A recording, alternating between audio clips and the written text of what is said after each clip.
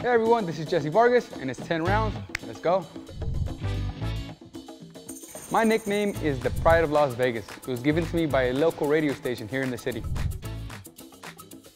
First time I got punched in the face, it was in elementary school. That's what I remember. I won the fight.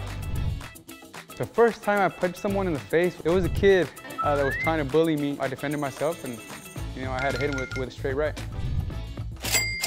The most expensive thing I bought as a pro definitely is the recent property that I purchased. My go-to meal is pasta, chicken, and steak. And if it's early, I'd love to fit in some pancakes.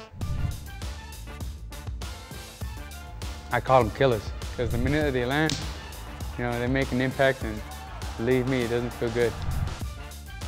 I idolized Julio Cesar Chavez, and he was the reason why I began boxing. If boxing had tag teams, I would choose Sugar Ray Leonard.